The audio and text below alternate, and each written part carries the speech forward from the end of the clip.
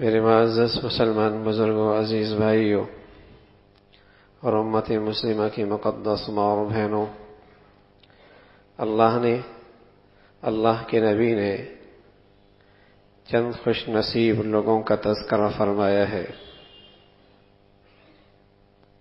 अल्लाह के नबी सल्लल्लाहु अलैहि वसल्लम ने चंद खुश नसीब लोगों का तस्करा फरमाया है। लेकिन ये दुनिया अंधेरी की जा है, इम्तिहान की जगह है, आजमाइश का दौर है। तो बस अवकात हर शख्स अपनी सर की आँखों से उन खुश नसीब लोगों को पहचान नहीं सकता।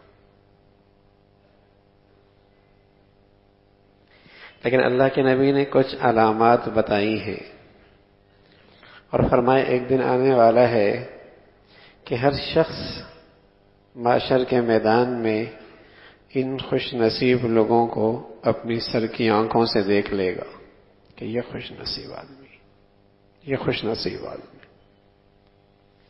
दुनिया है, दारुल इम्तिहान है, इसलिए कि यहाँ तो बसाओकात खोटा, खरा नज़र आता है, सच्चा, झूठा नज़र आता है, जलील इज़्ज़त वाला नज़र आता है, कमीना मुआज़ नज़र आता है घटिया इंसान लोगों के नज़रों में कीमती होता है। ये दुनिया इम्तिहान की जा है। लेकिन वमताजमा अय्युहल मुजरिमून यहाँ तो सब खल्त मल्त होके रहते हैं, वहाँ ऐसा नहीं होगा। वहाँ ये खुशनसीब लोग, जिनकी अल्लाह के नबी सल्लल्लाहु अलैहि वसल्लम ने यहाँ निशानदेही फरमाई है, सारे लोग इन्हें पहचान लेंगे, ये खुशनसीब आदमी।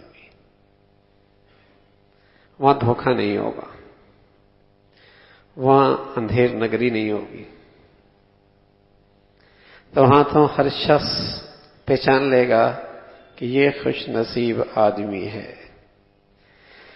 तो अल्लाह के नबी सल्लल्लाहु अलैहि वसल्लम ने उन खुश नसीब लोगों का तस्करा फरमाया है। पहला एक शख्स ज़िक्र फरमाया रजुल कल्बहु मुअल्लकुम बिल मसाजिद।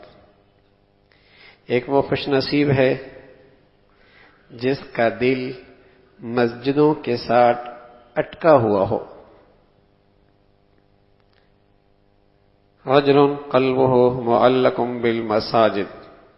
उसका शौक, जौक मस्जिद से ऐसा हो कि बाहर भी है तो उसका दिल मस्जिद की तरफ़ शौक रखता है। इसकी कैफियत खुशनसीब मुसलमानों को उस वक्त ज़्यादा महसूस होती है जब वो मक्का में होते हैं, मदीना में होते हैं, अपनी रहायश में होते हैं, लेकिन उनके अंदर की चाहत क्या होती है? कहीं तकबीर उला रह न जाए, कहीं जमात रह न जाए, कहीं मस्जिद से नमाज़ रह न जाए। तो वो कैफियत महसूस होती है कि है, होटल्स में रहशगाह में, किसी काम से, बाज़ार से गया है, लेकिन दिल उसका मस्जिद से लगा हुआ है। खास तौर पे मदीना मुनवरा में जो नबी अली सलात वसलाम ने फरमाया कि जो एहतमाम से वहाँ चालीस नमाजें पढ़ लेता है, अल्लाह उसे निफाक से बरी फरमा देते तो वहाँ इसका एहतमाम और ज़्यादा कि कुछ भी हो जाए, इस सफ़र में नमाज़ नहीं रहनी चाहिए। मस्जिद नबी में पहुँचना है। जितना भी वो मसरूफ हो, मशगूल हो, लेकिन उसका दिल मस्जिद की तरफ़ लगा हुआ। तो मेरे अजीजों, एक सच्चे मोमिन की शान यह है कि जैसे मस्जिद नबी मस्जिद हराम के साथ उसका दिल अटका हुआ है, उसे अल्लाह ने ऐसा जौक शौक नसीब फरमाया कि दुनिया के किसी खत्ते में है, उसका मस्जिद से ताल्लुक ऐसा ही है।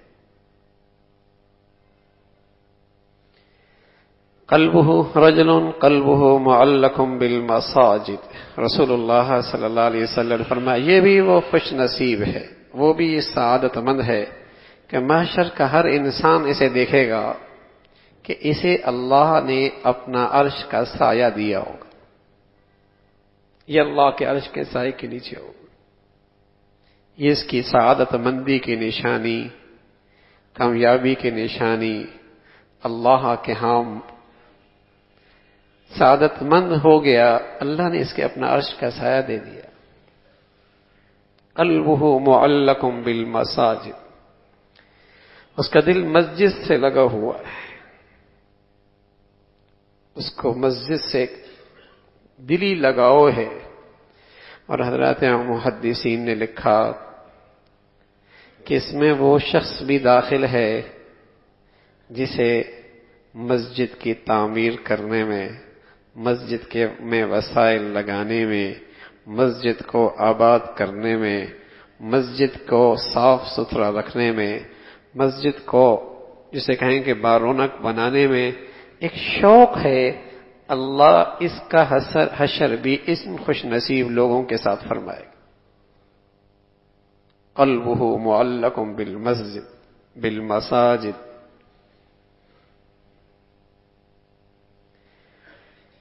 कि उसका मस्जिद से ऐसा एक ताल्लुक है, क्यों ना हो? ईमान वाला अल्लाह से प्यार करे तो अल्लाह के घर से क्यों प्यार ना करे? ये कैसे हो सकता है? महबूब से प्यार हो और उसकी गली कूचों से प्यार ना हो। उसकी तो हर चीज़ ही अच्छी लगती है। तो मस्जिद तो अल्लाह का घर है। किसी को अल्लाह से प्यार हो तो उसके घर से क्यों ताल्लुक न हो?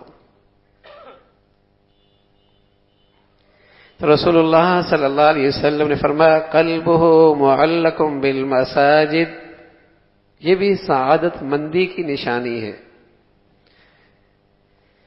कि मोमिन का दिल हर वक्त मस्जिद से लगा हुआ।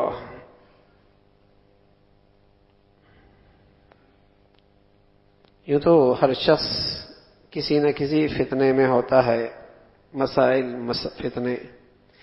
लेकिन जिन खुश नसीबों को अल्लाह के घर में आने की आदत है और अल्लाह के घरों में बैठने की आदत है वो बहुत सारे फितनों से महफूज हो जाते हैं। बहुत सारे फितनों से महफूज और जो बेचारे मस्जिदों से दूर होते हैं वो माहौल से ऐसे मुतासर होते हैं। ऐसे औल फौल उनकी जबानों पे बातें आती हैं कि बस औकात दायरा इस्लाम से भी निकल जाते अल्लाह के घर की अपनी बरकतें हैं। इसलिए मुसलमान जब पहले अपने घर बनाया करते थे तो ये देखते थे कि मस्जिद कहाँ है, ताकि मेरे बच्चे महफूज हो जाएँ, हमारी जिंदगियाँ महफूज हो जाएँ। कि हमारे घर का ताल्लुक मस्जिद से रहे। मस्जिद से रहे। इसलिए कि ये ईमान की निशानी है। इन यामुर मसाजिद अल्लाह मन आमना बिल्लाहि वलियौमिल आखिर। इन्नमा यामुर मसाजिद अल्लाह मन आमना बिल्लाहि वलियौमिल आखिर। अल्लाह के घरों को कौन आबाद करते हैं? जो अल्लाह पर ईमान रखते हैं, अल्लाह से मोहब्बत करते हैं। जो ईमान रखता है, वो अल्लाह से मोहब्बत भी करता तो अल्लाह के घरों को ये आबाद करते हैं। वह अनल मसाजिद अल्लाह इसलिए कि मसाजिद अल्लाह के घर हैं। और इन घरों को आबाद करने वाला अल्लाह का बंदा, अल्लाह का प्यारा, अल्लाह पर ईमान रखने वाला। इनमा यामुरु मसाजिद अल्लाह इसलिए इस उम्मत में, इस उम्मत में, इस उम्मत के सबसे बड़े प्यारे नबी अली सलात वसलाम और वो मस्जिद में सबसे आगे। फिर इस उम्मत के सबसे बड़े अबू बकर, उमर, उस्मान, अली सुबहान अल्लाह रिजवानुल्लाह अलैहिम अजमाइन अल्लाह के घर में, अल्लाह के घर में सबसे आगे। ये मुसलमानों में स्टेटस था, इज़्ज़त का, सआदत का। ये मुसलमानों का स्टेटस था, इज़्ज़त का, सआदत का। कि जो मुसलमानों में बड़ा मुआजज वो अल्लाह के घर में इतना ही आगे। सारी इंसानियत के बड़े मोहम्मद रसूलुल्लाह। सारी ज़िंदगी आप मस्जिद में सबसे आगे। अल्लाह का घर और अल्लाह के घर में सबसे आगे। आप सलात वसलाम की ज़िंदगी में हालत सेहत में एक मरतबा अब्दुलरमान बिन औफ रज़ी अल्लाह नमाज़ पढ़ाई। और चंद नमाजें हज़रत सिद्दीक अकबर रज़ी अल्लाह ने फरमाई, वरना अल्लाह के नबी सबसे पहले मुसल्ले पे आप हुआ करते थे ये उम्मत के बड़े। फिर अबू बकर, उमर, उस्मान, अली, रिजवानुल्लाह अलैहि मजमई तो जो जितना अल्लाह से करीब होगा, वो अल्लाह के घरों से जुड़ा हुआ होगा। उसके दिल में अल्लाह के घर की अजमत, मोहब्बत, उसे आबाद देखकर उसका जी का खुश होना, उसका जोक, शौक अल्लाह के घरों को आबाद रखते हुए उसके वसाइल लगाना, अपनी जिंदगियाँ लगाना, ये मोमिन की शान है। इन यामुर मसाजिद अल्लाह मन आमना बिल्ला वल आखिर। तो मुसलमानों में जो मुआजज हुआ करता था, वो अल्लाह के घर में इतना ही आगे हुआ करता था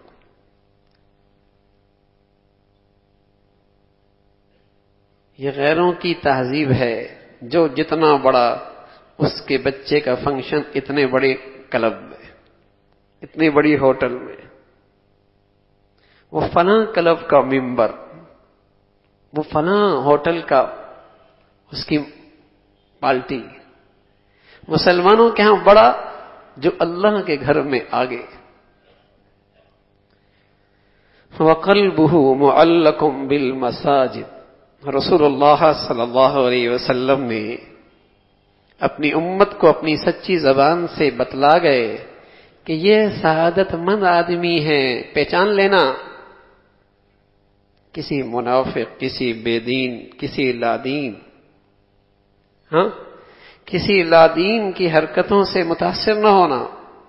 कल वो मुअल्लकुम बिल मसाजिद, जो अल्लाह के घरों को आबाद रखते हैं। उनको रौनक बख्शते हैं, उसका दिल अल्लाह के घर से लगा रहता है।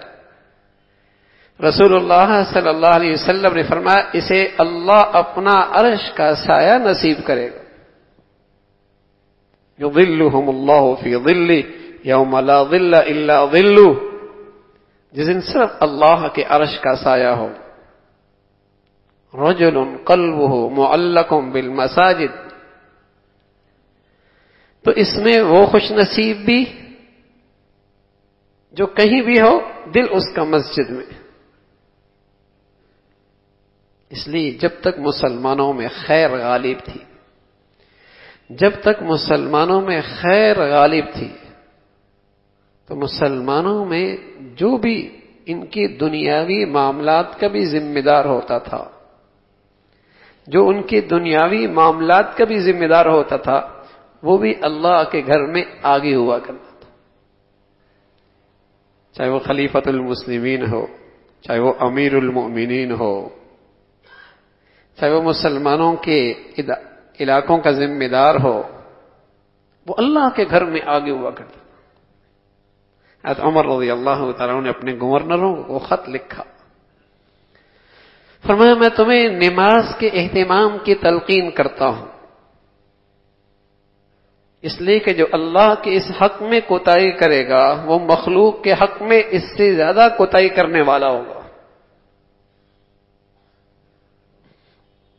जब मुसलमानों में खैर गालिब थी तो ये स्टेटस था माशरे का मुआज़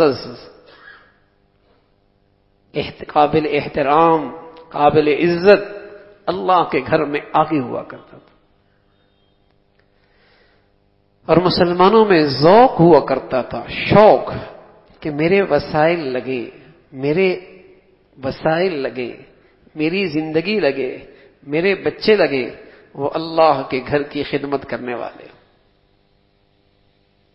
बैतुल मुकद्दस थी, बैतुल मुकद्दस। तो वहाँ माए नज़र माना करती थी कि मेरा बेटा हुआ होगा तो वो वक्फ होगा। वो अल्लाह के घर की खिदमत करेगा बैतुल मुकद्दस की। तो इमरान की जौजा सुर आल इमरान कुरान में, उनकी बीवी उम्मीद से हुई। और जब उम्मीद से हुई तो उन्होंने नज़र मानी कि अल्लाह अगर मेरा बेटा होगा तो तेरे घर के लिए वो वक्फ होगा। मैं नज़र मानती हूँ। अब बताइए अल्लाह के घर की खिदमत की सादत देखिए कि उस बच्ची उसके शोहर का नाम कुरान में, उस नाम से सूरत और उस फतून का तस्करा कुरान में कितनी बड़ी सादत है। अल्लाह के घर की खिदमत, इसके लिए अपने बच्चे की नज़र मानना। सूरह आल इमरान, कुरान की दूसरी सूरत है। तो जब वो उम्मीद से हुई तो नज़र मान ली, अल्लाह मेरा औलाद होगी, बेटा होगा, तेरे दीन, तेरे घर के लिए वफ होगा। अल्लाह की शान। बजाय बेटे के बेटी हुई। तो उसे ख्याल आया कि इस घर की खिदमत के लिए तो बेटे को कबूल होते हैं, मेरी बेटी हुई है, ये कैसे कबूल होगी? बस उदास थी। उदास थी। इसलिए नहीं उदास थी कि बेटी क्यों हो गई। इसलिए उदास थी कि ये खिदमत का मौका हाथ से चला जाएगा। इसलिए नहीं उदास थी कि बेटी थी। हमारे यहाँ बदकिस्मती से बेटा हो तो खुशी होती है, बेटी होती है तो उदास हो जाता बेटों के साथ हुसन सलूक और बेटियों को नजरअंदाज करना बड़ा जुल्म है। बड़ी ज्यादती है। मेरे अजीजों, लड़की की सिफारिश अल्लाह ने की है। उसके साथ हुसन सलूक करने की सिफारिश अल्लाह ने की है। जब वो लड़की है तो बाप से कहा। जब वो लड़की बीवी है तो शोहर से कहा। जब वो लड़की भाई बहन है तो भाई से कहा। बेटी है तो बाप से कहा, बीवी है तो शोहर से कहा, बहन है तो भाई से कहा, इसके साथ उसने सलूक का मामला करना, व आशिरूहन्ना बिल मारूफ। और फिर अल्लाह के नबी सल्लल्लाहु अलैहि वसल्लम ने फजीलत बताई, जो लड़कों के लिए नहीं फरमाई।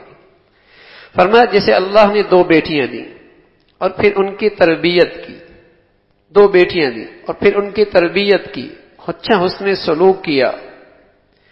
तो कल क़यामत में अल्लाह उस बाप को मेरे साथ इतना करीब कर देगा और यूँ उंगलियों से इशारा किया, जैसे ये दो दो उंगली आपस में करीब है। यूँ इशारा फरमा, जैसे ये दो उंगली आपस में करीब। उसे अल्लाह मेरा इतने करीब कर देगा। ये खिदमत, ये फजीलत बच्चियों के साथ हसन सलूक करने के साथ है। और मेरे अजीजों, जब माशरा भी धुतकारने लग जाए और माशरा भी बुरा सलूक करने लग जाए और अगर भाई और बाप भी उसको नजरअंदाज करने लग जाए तो बस अवकात बच्चियों का दिल कटने लगता है। अंदर ही अंदर वो जबा होने लगती है। बेटी, अल्लाह की रहमत है रहमत है रहमत है अल्लाह की। इससे जन्नत बनाई जा सकती है, सादत कमाई जा सकती है, अल्लाह क्या कुर्ब पाया जा सकता है। इसके साथ हुसन सलूक कीजिए, रहमतें आएँगी, बरकतें आएँगी। बोझ नहीं है, जो दुनिया में आता है, वो अपना रिस्क साथ लेके आता है। हुसन सलूक काफरों का मिजाज था। वैदा बुशर अहदुम बिल वल्ला वजहू मुसवदम वह कदीम कि जब उन्हें खबर मिलती कि बेटी हुई है तो उनके चेहरे स्याह हो जाते थे। अंदर ही अंदर घुटते रहते थे कि अब इसे ज़िंदा रखें, शर्मसारी के साथ, या इसे ज़िंदा दरगोर कर दे। ये काफरों का मिजाज अल्लाह ने ज़िक्र फरमाया। साहिब ईमान के लिए खुशखबरी बताई, ये अल्लाह की रहमत है। खुद अल्लाह के नबी सल्लल्लाहु अलैहि वसल्लम की बेटियाँ परवान चढ़ी, चार बेटियाँ थी। नबी से मुनासबत है। बेटे बचपन में इंतकाल कर, बेटे ज़िंदा रही तीन चारों बेटियों के आपने निकाह कराए और आखिर में आपकी ज़िंदगी में तीनों का इंतकाल हो गया। सारी मोहब्बत औलाद की सिमट के फातिमा के हिस्से में आ गई। रज़ी अल्लाह तला और बड़ी मोहब्बत थी अल्लाह के नबी को अपनी बेटियों से। बड़ी मोहब्बत। हुसन सलूक करना इसको। हुसन सलूक।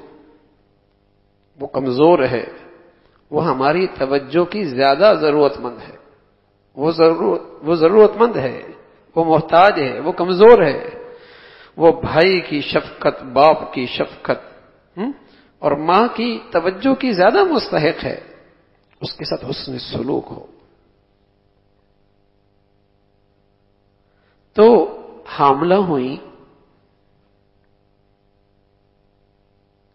तो ख्याल आया कि बेटा होगा तो इसे आपके घर के लिए वफ कर दूँगी।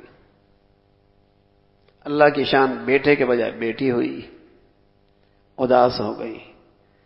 उदास इसलिए नहीं कि बेटी हो गई। मैं अर्ज़ कर रहा हूँ, इसलिए उदास हुई कि ये खिदमत का मौका हाथ से निकल गया। खिदमत का मौका हाथ से निकल कि मेरी औलाद होती, अल्लाह के घर की खिदमत करती। ये सादत मेरे घर को भी मिलती। तो अल्लाह इज़्ज़त ने तसल्ली दी, कुरान में ज़िक्र फरमाया। क्या ये बेटी ऐसी है कि हज़ारों बेटों पर भारी है? और वो बेटी थी हज़रत मरियम आली सलात जिसको आगे जाकर अल्लाह एक नबी की माँ बनाने जा रहे थे। जिन्हें आगे जाकर अल्लाह अपनी कुदरत का शिकार बना रहे थे।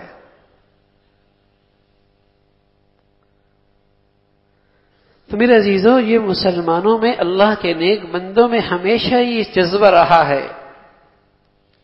अल्लाह के मकबूल बंदों में हमेशा ये जज्बा रहा है कि अल्लाह के घर से उनका ताल्लुक दिल की गहराइयों से हो, अजमत का ताल्लुक, मोहब्बत का ताल्लुक, एहतराम का ताल्लुक, अल्लाह के घर से मोमिन के ईमान का तकाजा है। खुद अल्लाह का नबी सैदुल अम्बिया इमामुल अम्बिया सैदुल बशर मोहम्मद रसूलुल्लाह जब आप मदीना मुनवरा हिजरत करके तशरीफ़ लाए तो आप सलाम ने मदीना में जो सबसे पहला काम किया पत्थर उठाए मिट्टी उठाई खुद भी गारे में बनाने में शरीक हुए क्या कर रहा है इमामुल अंबिया मोहम्मद रसोल्ला ये अल्लाह का प्यारा। क्या कर रहा है? ये अल्लाह के घर बना रहे हैं। पत्थर भी खुद ला रहे हैं, उठा के ला रहे ये सादत मुझे भी मिले कि अल्लाह के घर की तामीर सबसे पहले हो रही है। मदीना मुनवर में आने के बाद सबसे पहला काम मस्जिद कुबा की तामीर। अल्लाह के घर से ताल्लुक। तो अहले ईमान का अल्लाह के घरों से कलबी ताल्लुक ये उनके ईमान का तकाजा है।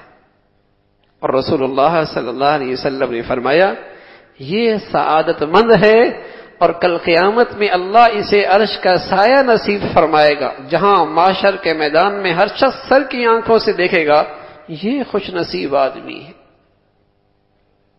ये खुश नसीब आदमी। कलबुहु मुअल्लकुम बिल मसाजिद। ये खुश नसीब आदमी। इसलिए रसूलुल्लाह सल्लल्लाहु अलैहि वसल्लम फरमाया करते थे,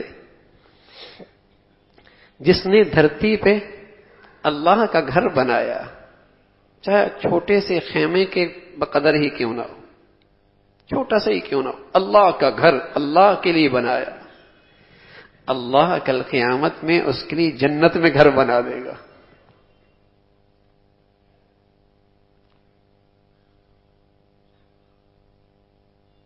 तो ये अहली ईमान की शान है। वो अपने आमाल से, अपने अजकार से, अपनी तिलावत से, अपनी इबादत से अल्लाह के घर को आबाद भी करते हैं और अपने वसाइल से अल्लाह के घरों की तामीर भी करते हैं, उनकी जरूरियात भी पूरी करते हैं और उनका दिल अल्लाह के घर से हर वक्त जुड़ा रहता है। वकलबहू मुअल्लकुम बिल मसाज रसूलुल्लाह सल्लल्लाहु अलैहि वसल्लम ने बताया है, मोमिन, खुश नसीब। दूसरा फरमाया, शहादतमंद, रजुलानी। तहाबा रजुलानी तहाबा फिल्ला वो खुश नसीब जो आपस में अल्लाह के लिए मोहब्बत करते हैं रजुलान तहाबा फिल्ला ये भी कल क्यामत में उन खुश नसीब सादतमंदों में होगा जिन्हें अल्लाह अपना अर्श का साया नसीब फरमाए अल्लाह के लिए मोहब्बत जैसे एक तलब इल्म अपने उस्ताद से मोहब्बत करता है।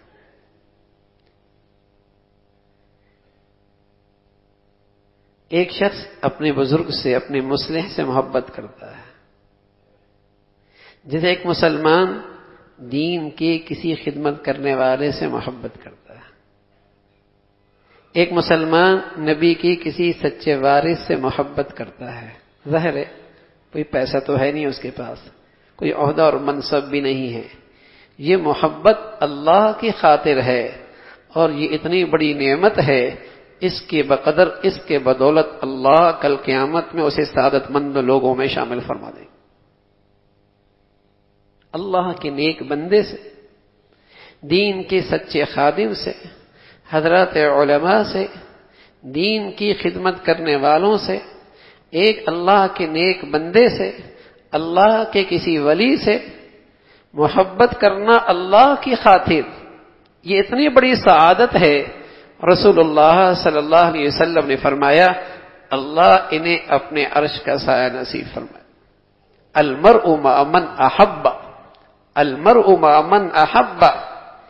अगर ये किसी अल्लाह के नेक बंदे से, किसी अल्लाह के नेक वली से किसी बुज़ुर्ग से, किसी दीन के सच्चे खादिम और खिदमत करने वाले से मोहब्बत कर रहा है तो कल क्यामत में अल्लाह इसी भी उन्हीं के साथ उठा देगा हजरात साहबा रिजवान अजमाइन फरमाने लगे, हमने जब अपने नबी की जबान से ये बात सुनी अलमर उमा मन अहब्बा, आदमी उसी के साथ उठाया जाएगा जिससे वो मोहब्बत करता है तो हमें अपने नेक अमल पर तो इतना इत्मीनान नहीं था।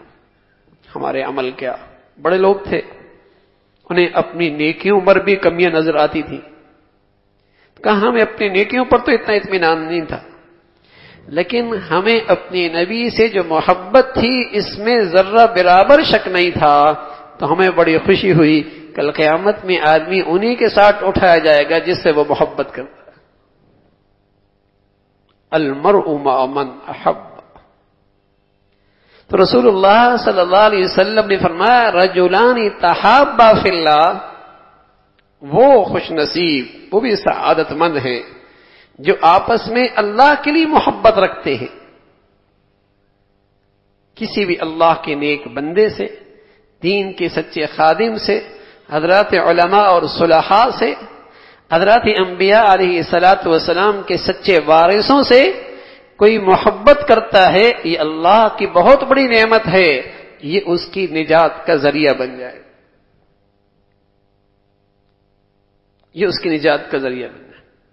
हमें अज़ीज़ हो जैसे इनसे मोहब्बत और इनकी अजमत और इनका एहतराम बायस निजात है, बायस निजात है ऐसी ही इनकी अदना गुस्ताखी और अदना दर्जे की बेअदबी, इसकी हलाकत में भी कोई शक नहीं, बर्बादी की भी कोई शक नहीं। दो चीज़ें ऐसी हैं, जिनकी तरफ़ अल्लाह ने बड़ी सख्त वईद फरमाई। है एक तो फरमाया, जो सूद खाता है, वो भी अल्लाह से ऐलान जंग करता है। और दूसरा फरमाया, मन आदा वलीयन, फकद आदन तो बिलहर्ब जो किसी मेरे नेक बंदे से दुश्मनी करता है, मेरी तरफ़ से उसके लिए भी ऐलान जंग है। मेरी तरफ़ से उसके लिए भी ऐलान जंग है। जो मेरे किसी नेक बंदे से दुश्मनी मोल लेता है और उसे जहनी, जिस्मानी, जबानी तकलीफ़ पहुंचाता है, मन आजा वलीयन फकत आजन तो हो बिलहर फिर वो तैयार हो जाए उसके साथ मेरी तरफ़ से ऐलान जंग है। जैसे अल्लाह के नेक बंदे से और अल्लाह के नेक बंदों से और दीन की खिदमत करने वालों से मोहब्बत निजात का ज़रिया है।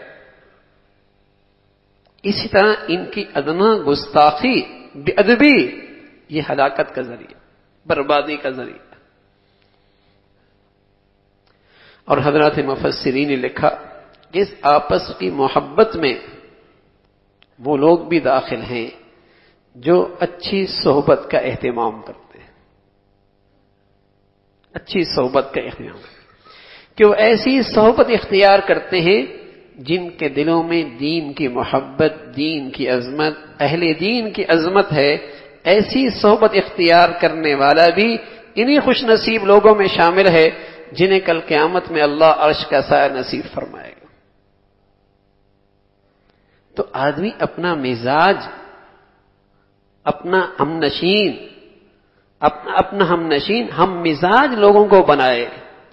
ऐसे लोगों के साथ उठे बैठे, जो नेकी से, नेक लोगों से, दीन से दीन से खिदमत करने वालों से मोहब्बत और अजमत रखता हो, ताल्लुक रखता हो, आदमी को अपनी नशिस्त बर्खास्त भी उन्हीं लोगों के साथ रखनी चाहिए।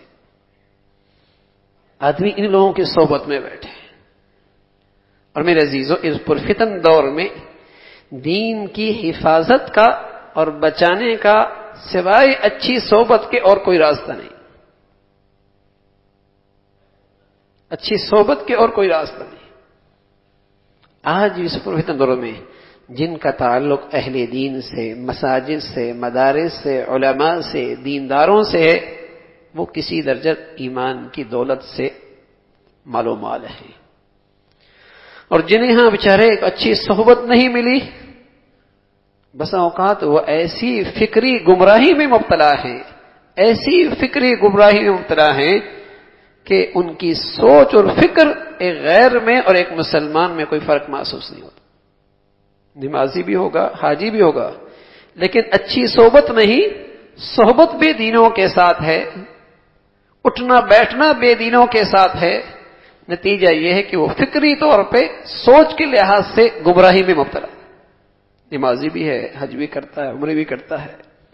लेकिन सोबत ठीक नहीं तो फिक्री तौर पे सोच के लिहाज से बेदीन हो रहा।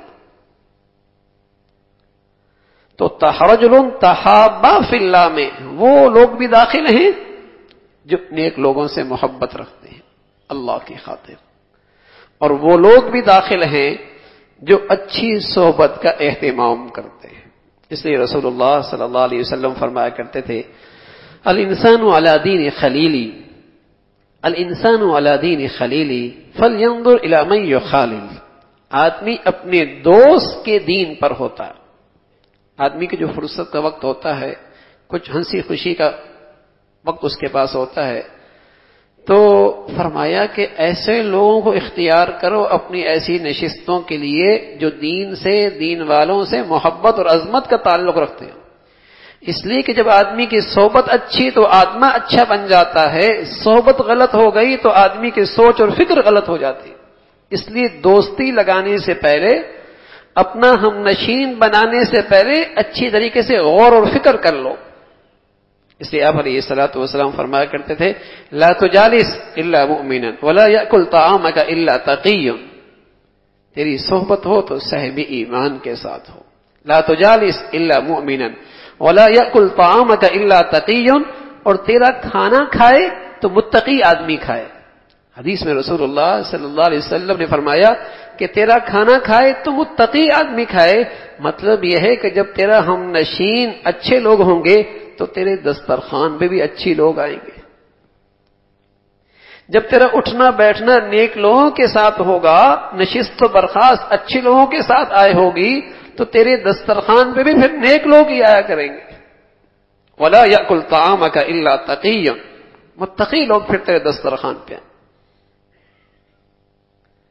तो रसूलुल्लाह सल्लल्लाहु अलैहि वसल्लम ने फरमाया कि वो आदमी भी खुश नसीब है कि जिसे अल्लाह के नेक बंदों से, दीन की खिदमत करने वालों से अल्लाह की खातिर मोहब्बत हो और जिसकी सोहबत, जिसका उठना बैठना, उन लोगों के साथ हो जिनके दिलों में दीन की मोहब्बत है, दीन वालों की अजमत है। ये भी उन खुश नसीब लोगों में है जिन्हें अल्लाह कल क्यामत में अपने अर्श का साया नसीब फरमा। और मेरे अजीजों, अब तो मुसलमानों की एक बड़ी सोबत वो टीवी की एंकरों के सामने होती है। ये उनकी सबसे अच्छी सोबत है। और एक बड़ा वक्त या अखबार के साथ गुजरता है, या टीवी के साथ गुजरता है।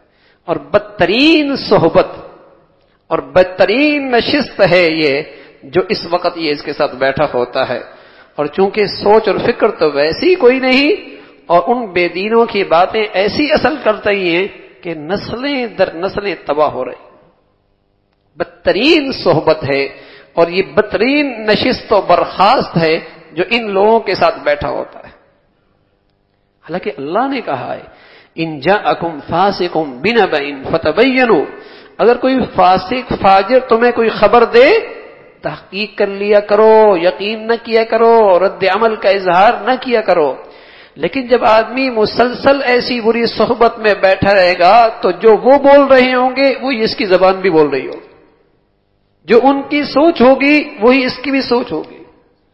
इसलिए कि वो सबक इतना सुना इतना सुना कि फिर वो जबान पे जारी हो ही जाता। और कम अज कम इतना ज़रूर होता है कि तरद में तो मुबतला हो ही जाता है। शक तो आ ही जाता है। तो बदतरीन सोहबत है, ये बुरी नशिस्त इनकी बातें सुनना, इनकी नशिस्त में बैठना। हाँ ये बदतरीन नशिस्त। और मेरे अजीजों, अल्लाह के लिए, अपनी नई नस्ल को बचाओ, अपनी औलादों को बचाओ, अपनी नस्लों को बचाओ। इसलिए कि अब तो अच्छी सोबत ना स्कूल में रही, ना कॉलेज में रही, ना यूनिवर्सिटी में रही, और मस्जिद में भी कोई नहीं रही। दीनदारों के पास भी बैठना कोई नहीं। टीवी के सामने रही बताओ इस नई नस्ल का ईमान कैसे बचेगा? कौन इनका ईमान बचाएगा? जहाँ हर जगह ही बुरी नशिस्त है, बुरी सोहबत है तो फिर एहतमाम हो इन्हें ऐसे माहौल में लाने की, जहाँ इनकी खैर की बात जो अल्लाह के नबी ने बताई है, जो रहनुमाई मौला करीम ने की है ताकि ये जहनी और फिक्री तौर पर गुमराही से महफूज हो जाए। रसूलुल्लाह सल्लल्लाहु अलैहि वसल्लम फरमाया करते थे, एक वक्त ऐसा तारीख फितना आएगा कि हर आने वाला फितना पहले से ज़्यादा तारीख होगा। और युसबिहुर्रजुल मुमिनन व युमसी काफिरन। आदमी सुबह ईमान वाला होगा, शाम काफिर होगा। वयुमसी मुमिनन व युसबिहु काफिरन। शाम ईमान वाला होगा, सुबह काफिर होगा। वो अपनी जबान से ऐसी बातें निकालेगा कि दायरा इस्लाम से खारिज हो जाए उसे पता ही कुछ नहीं क्या कह रहा है, क्या बक बक कर रहा है, क्या औल फोल बक रहा जब आदमी इन लादीनों के पास, इन बेदीनों की बातें सुनेगा, लादीनों की बातें सुनेगा और बार बार सुनेगा तो उसका असर तो होगा। असर तो होगा। तो अलैहि वसल्लम ने बताया कि सादत मंदी यह है कि मुसलमान का ताल्लुक अल्लाह के घर से हो।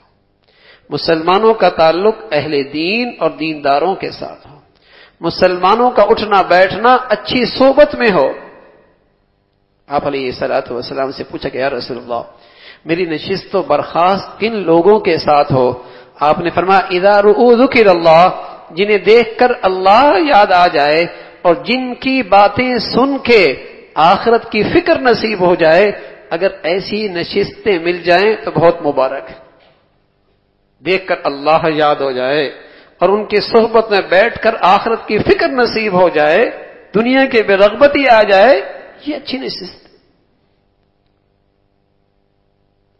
तो मेरे अजीजों, हर वक्त ही बुरी सोहबत स्कूल में जाएँ, कॉलेज में जाएँ, यूनिवर्सिटी में जाएँ, बाज़ार में जाएँ, अखबार देखें, और जो फारिग वक्त है वो टीवी के सामने बैठ गए।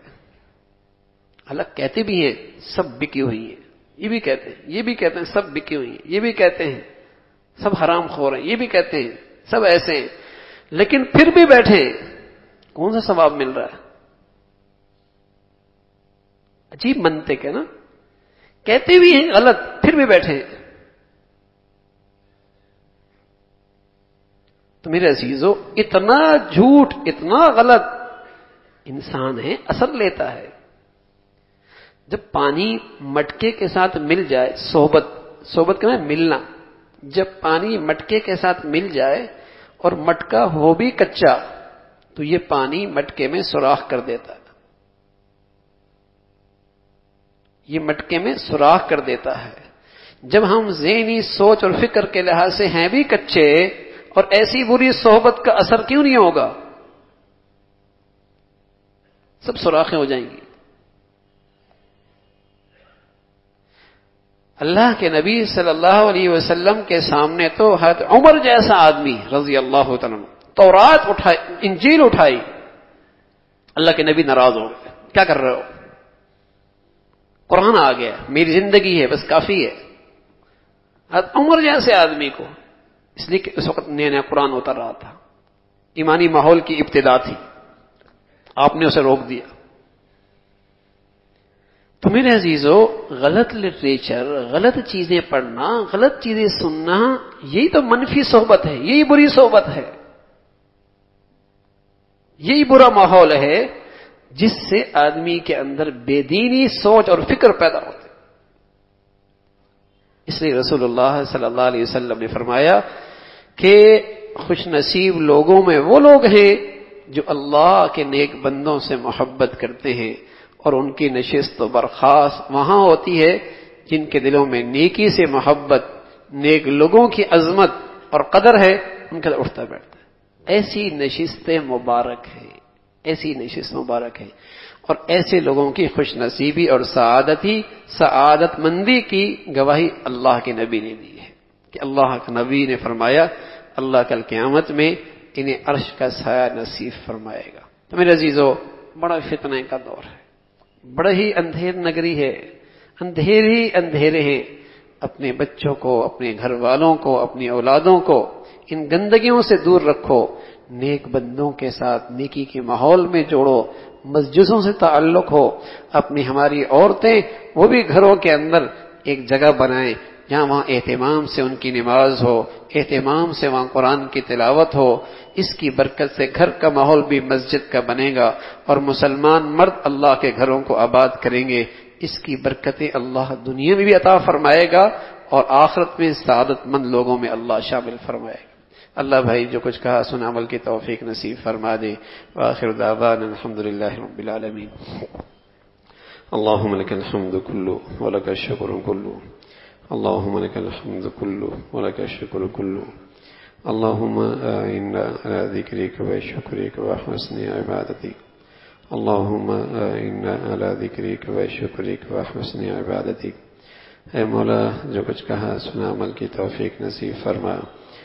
ईमान वाली सुकून वाली चैन वाली राहत वाली ज़िंदगी नसीब फरमा मौला अपना ताल्लुक नसीब फरमा अपनी सच्ची मोहब्बत नसीब फरमा हे अल्लाह तमाम हाजरीन हादिरात की तमाम जायद हाजात को पूरा फरमा मुश्किल को आसान फरमा परेशानियों को ख़त्म फरमा हे अल्लाह पूरे दीन पे चलना आसान फरमा हे अल्लाह पूरे दीन पे चलना आसान फरमा हर फितने से महफूज फरमा, हर बेदीनी से महफूज फरमा, हर जालिम से महफूज फरमा। हे अल्लाह, अपने फजल से दीन की सही समझ नसीब फरमा।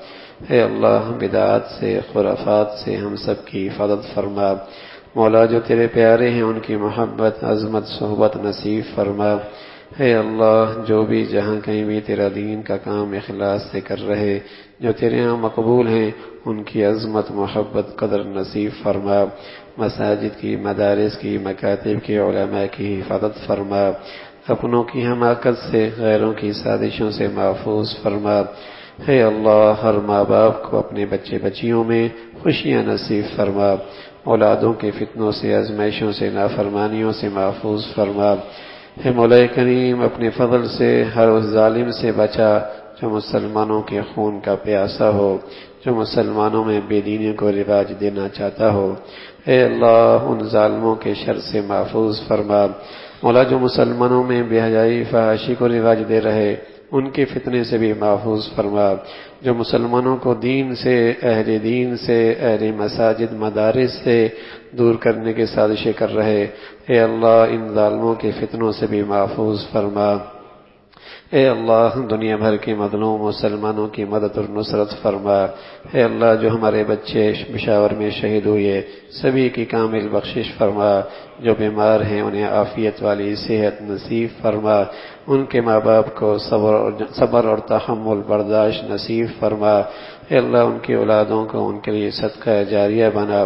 अल्लाह, जो जालिम लोग, बेदीन लोग, इस वाक़े के आड़ में आकर अहल दीन पर तंज और तनकीद कर रहे। और मुसलमानों को और इंतशार में मुबतला करने के साजिशें कर रहे, और मुसलमानों में बहमी दस्ते गरबान करने की बड़ी साजिशें बुन रहे मौला इन जालमों के शर से भी मुसलमानों को महफूज फरमा। अहले इस्लाम को बहमी इतफाक व इतिहाद नसीब फरमा, हे अल्लाह हे अल्लाह, अपने फजल से हम सब के हाल पे रहम फरमा, हमारे मुल्क पे रहम फरमा, हमारे शहर पे रहम फरमा, अल्लाह सारी उम्मत मोहम्मदिया पे रहम का मामला फरमा मौला करीम अपने फजल से, अपने करम से तमाम हादरीन को आफियत वाली, ईमान वाली, सेहत वाली ज़िंदगी नसीब फरमा। हादिसात से सानियात से मूजी और दिलपा बीमारियों से महफूज फरमा। है मौला करीम, अपने फजल से, अपने करम से जो बच्चियाँ घरों में हैं, उनके लिए नेक साले रिश्तों का इंतज़ाम फरमा। जो बच्चियाँ घरों में जा चुकी हैं तो उनके घरों को मोहब्बत और तकवे से आबाद फरमा। अल्लाह तमाम मुसलमानों को अपने घर की अजमत, मोहब्बत नसीब फरमा। मुसलमानों को अल्लाह के घरों को आबाद करने की तौफीक नसीब फरमा। हमें नेक लोगों की मोहब्बत, नेक लोगों की सोबत दीन की खिदमत करने वालों की सच्ची कदर नसीब फरमा। हे अल्लाह, अपने फजल से, अपने करम से, उम्मत मुस्लिमा को, है अल्लाह, अपनों की हमाकतों से और गैरों की साजिशों और जुल्म से हमेशा महफूज फरमा। अहल इस्लाम को बहमी इतफाक इतिहाद की दौलत नसीब फरमा। रबना तकबल मन्ना